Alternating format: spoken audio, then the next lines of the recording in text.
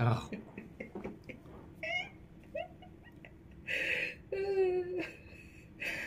Jellyfish could be older than dinosaurs.